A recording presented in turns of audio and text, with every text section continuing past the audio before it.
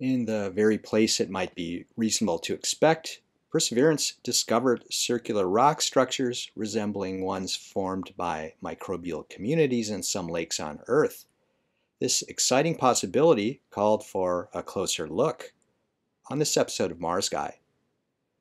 In a recent episode cleverly titled Where's the Beach? Okay, not so clever.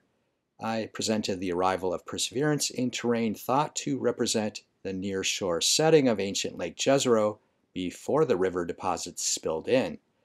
What I failed to notice at that time are the slabs of rock in the scene with what appear to be concentric curves. Here's Mars Guy for scale. I did note that scientists would be on the lookout for structures resembling the roughly circular features known as stromatolites that are found along the shoreline of some lakes on Earth, like Great Salt Lake in Utah.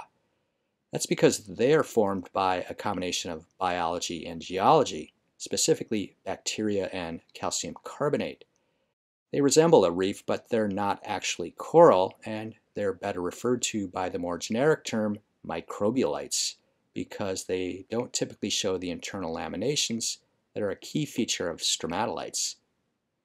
The circular features in Jezero crater have obvious differences, but the view with the zoom lens of Mastcam Z added to their intrigue, nicely emphasized in this 3D rendering from the Mastcam Z team posted to Sketchfab.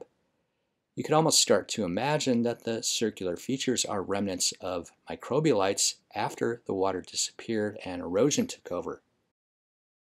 Meanwhile, Perseverance was making its own circular features in the slab of rock it had parked in front of, abrading a spot for the science instruments to investigate, and collecting a core sample for possible return to Earth. But the larger natural ones had indeed drawn the attention of the team. After finishing operations at this location, Perseverance was commanded to drive just under 10 meters to get a closer look at the nearby circular features.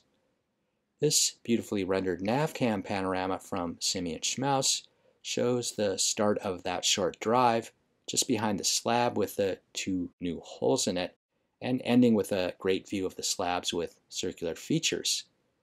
They look even more intriguing from here, but this is Mars, and you always need to look for an explanation that doesn't involve biology.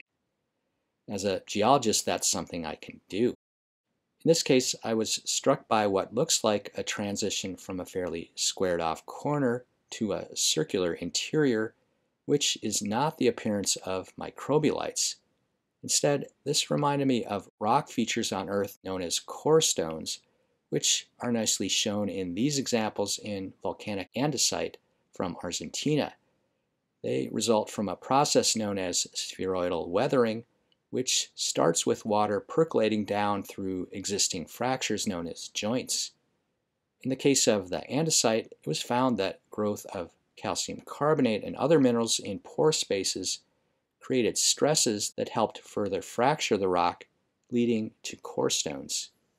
In Jezero crater, the rocks may have first been deposited by volcanic activity, then fractured into joints during cooling, and sometime later infiltrated by water, maybe from Lake Jezero. This could have led to precipitation of carbonate minerals that contributed to spheroidal weathering and the formation of core stones. Since then, they've been planed off by sandblasting, conveniently represented by the sand ripple parked on top. The fact that this location is known to host carbonate minerals adds weight to this geologic story.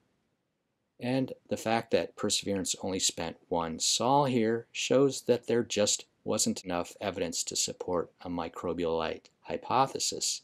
It backed away and drove off to explore other features of the margin carbonate terrain, propelled by circular features that were, without a doubt, formed by life.